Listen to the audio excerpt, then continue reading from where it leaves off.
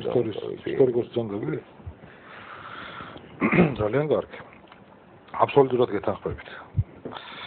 აა და აი ეს ხედვა, ვთქვათ, პოლიტიკისადმი სამწუხაროდ მე იმ ადამიანებში, რომლებიც თავიანთ თავს პოლიტიკოსებს ეძახიან, უფრო მეტიც ერის ლიდერებად მოაქვს თავი, ვერ დავინახე. მოუბრუნდეთ. პოლიტიკა რისგან შედგება? პოლიტიკა შედგება ნაწილებისაგან. პოლიტიკის გაყოფა არ შეიძლება. პოლიტიკის არსი ის არის, რომ იმაში მდგომარეობს, რომ ის არის ერთიანი. ეს არის საშინაო, საგარეო და გლობალური. ეხლა როგორ შეიძლება ქვეყანას კონდეს სწორი საგარეო პოლიტიკა? აა ხოლოდ როცა საშინაო პოლიტიკა აქვს არასწორი. საგარეო პოლიტიკა არის ორიენტირებული საშინაო მიზნების განხორციელებაზე. ხო თქმა უნდა ქვეყანა იმის მიხედვით ირჩევს გარე სამყაროსთან ურთიერთობას ეს ქვეყნები იქნება სამხედრო პოლიტიკური ბლოკები თუ საერთაშორისო საერთაშორისო ორგანიზაციები რომელი უწყობს ან რომელი უშლის ხელს მას საშინაო მიზნის განხორციელებას ჩვენი უბედურება რა არის ცით ჩვენი უბედურება უფრო შორს მიდის. სახელმწიფოს მიზანი არ აქვს. მე ვერ დავინახე. სახელმწიფოს მიზანი და არაფერზე ორიენტირებული წარმატებული როგორ შეიძლება იყოს? ხო თუ არიცი სად მიდიხარ მიზანი თუ მიზანი არ არიცი სად მიდიხარ ბუნებრივია ერთერთად ვერ მიხვალ ხო რაც მაფიქრებინებს რაც იცით მე კი არა ალბათ ადამიანებს რომლებსაც უფრო მეტი უცხოვრიათ და გაცილებით უფრო მეტი გამოცდილება აქვს ცხოვრებისეული და გონებაც ამ უზარმაზარი ისტორიის უზარმაზარი კულტურის ტრადიციების სახელმწიფოში რატომ არის ასეთი დაბალი პოლიტიკური კულტურა რატომ ვეჯიბრებით ერთმანეთს პარტიების შექმნაში? რატომ მიყვავს ყველაფერი აი რაოდენობაზე? რაოდენობაზე. და გვიხარი ახალი პარტია შეიქმნა. ჩვენ ხო ვიცით რომ რა არის პარტია? პარტია ეს არის ნაწილი. იცით მე ვხედავ ბედნიერებას რომ საქართველოში ჩვენ და სამწუხაროდ 200-მდე პარტია, ამაში კი არ ხედავ ბედნიერებას. ბედნიერებას ხედავ იმაში რომ პარტიები არიან მცირე რიცხოვანი. აი ორკაციანი, ათკაციანი შეიძლება ასკაციანი პარტიები. ანუ პარტიები რას ცდილობენ, იცით? დაანაწევრონ საქართველოს. დღეს საქართველოს დაანაწევრება კი არ ჭირდება. პირიქით, ქვეყანას ჭირდება გაერთიანება. არაფერი არც ერთი პარტიიდან, ну, უმრავლესი პარტიებიდან. მე ვერ დავინახე რაიმე კონცეპტუალური სახელმწიფოებრივი მიდგომა. აა რაიმე აი შეთავაზება ქართული საზოგადოებისთვის. თანმიმდევრული მიზანმიმართული გეგმის, პროექტის, პროგრამის რის გარშემოც უნდა მოხდეს ერის კონსოლიდაცია. ხა თქვენთვის არ ამგონია რომ ისაღები იყოს ის რაც ამ თვეების განმავლობაში ხდება რუსთაველში და ხდებოდა რუსთაველში. ის მუხტი რაც საქართველოში არსებობს პროტესტის მუხტი ამას რა გახსნა? და ეს ობიექტურია და მე სიამოვნებს და מחარებს როგორც ამ ქვეყნის შვილს რომ ქართული სული ჯერ კიდევ ცოცხალია და ცოცხლობს და ამას მომავალი აქვს. და სერიოზული მომავალი აქვს. მაგრამ ლიდერები, რომლებიც არიან წარმართველი ამ მუხტის. მე არ მგონია რომ მათ სწორი მიმართულებით მიყავთ ქვეყანა და სწორი მიმართულებით მიყავთ ადამიანები.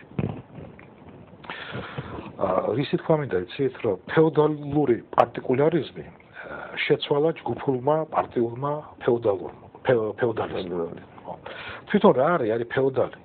ფეოდი მამულს ნიშნავს ხო? რამდენ ნაწილად არის დაყოფილი საქართველო? რამდენ მამულად უნდა დავყოთ საქართველო, რომ მიხვდეთ რომ ვიშლებით და ვინგრებით? შეგეთახმებით აი მაგის შესახებ. ახლა მე უფრო თუ ძალიან საინტერესოდ საუბრობდით, მაგრამ აი თუ ცოტა მეც ვიტყვი ამ ორ სიტყვას ამის შესახებ, საერთოდ იმაჩნია რომ აი ეს პარტიები რა თქმა უნდა 210 პარტიამდეა საქართველოში ხო?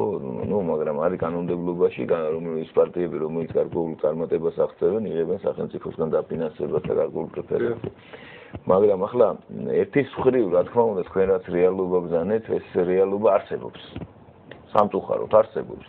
ეს განპირობებულია იმით რომ პარტია როგორც ესეთი პარტია როგორც ფენომენი აქვს თავისი გენეზისი, ხო? თავისი სად წარმოიქმნა, რა ისტორიულ გარემოში წარმოიქმნა, რა როლს ასრულებდა. ეს იყო კლასიკური მაგალითი რო განვიხილოთ ინგლისი ან ევროპა ევროპული ფენომენი, თუმცა იქ არსებობდა საბერძნეთში და რომშიც იცით პარტიები, მაგრამ ნუ განვიხილოთ ევროპის მაგალითზე, ეს იყო საუკუნეების განმავლობაში ჩამოყალიბებული ესე ვთქვათ ინსტრუმენტი, რომელიც გამოხატავდა ასევე საუკუნეების განმავლობაში ჩამოყალიბებული კლასების და ვარქვათ ასე და მარქსს და ესეს ხო, ანუ მოსახლეობის დიდი ჯგუფების ჩამოყალიბებული ინტერესების პოლიტიკური ინსტრუმენტი იყო ესე გამოხატვის პოლიტიკური ინსტრუმენტი. ესეთი იყო პარტია როგორც ესეთი და ეს ატარებს პარტიის ძირითადი დამახასიათებელი თვისება ამავე დროს არის რა თქმა უნდა რომ ის აუცილებლად აი მასობრივი უნდა ან უნდა გამოსახავდეს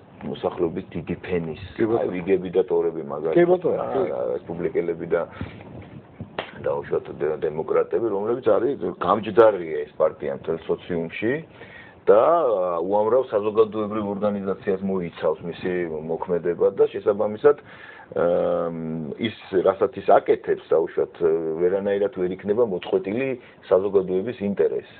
ახლა ჩვენ ისეთ რეალობაში ჩამოყალიბდა ეს პარტიები, როცა ეს პარტიული სისტემის პოსტსაბჭოთა სივრცეში ჩამოყალიბდა სამოქალაქო საზოგადოება არ არსებობდა და შესაბამისად პარტიები ვერ იქნებოდნენ მასობრივი, იმიტომ რომ საზოგადოება ფაქტურად ჩვენი საზოგადოება გადაიქცა ამორფულ მასად, სადაც ერთადერთი აქტორი ან მოქმედი ძალა არის სახელმწიფო აპარატი და უშუალოდ შინაგან საქმეთა სამინისტრო. ეს ახლა სამწუხაროდ თქვენ კარგად იცით, ესეთ ეს ყველა ქვეყანაში არის ასე.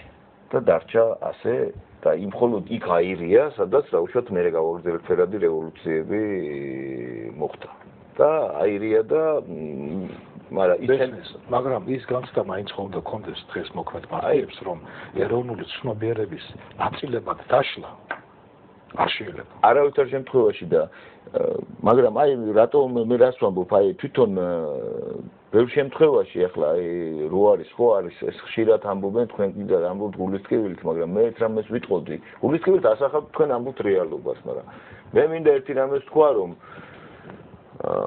ადამიანები ხშირად არიან ვითარებების გარემოებების ზევლები, გარემოებების ზევლები რა და უფრო ხშირად უმეტეს შემთხვევაში ვიტყვი. და აქედან გამომდინარე ბევრი ადამიანი ცდილობს გააკეთოს თავისი მაქსიმუმი, მაგრამ ვითარებები არ იძლევიან ამის საშუალებას და ბევრი ახლა რო ვთქვა ახლა ვერ აკეთებს იმას, რაც უნდა რომ გააკეთოს და ისეთი რეალობაა, რომ აი გაერთიანება ძალიან რთულია და ამიტომ თვითონ მათში ახლა გადავიდეთ იმაზე ჩვენ ყოველთვის ალბათ გამოსაუძიება უნდა რა თქმა უნდა თქვენ სიტყვით ალბათ თქვენაც როგორ უნდა გამოვიდეთ ამ სიტუაციიდან მე მინდა რომ ვთქვა რომ თვითონ პარტიებში აუცილებლად უნდა მოხდეს აი ამ თქვენ მე ნათქვამი ჩვენ ასე ვლაპარაკობთ აი იმის გააზრება და უნდა მონახონ თავიანთ თავში ინტელექტუალური რესურსი ან საზოგადოებაში ეროვნული თანხმობა.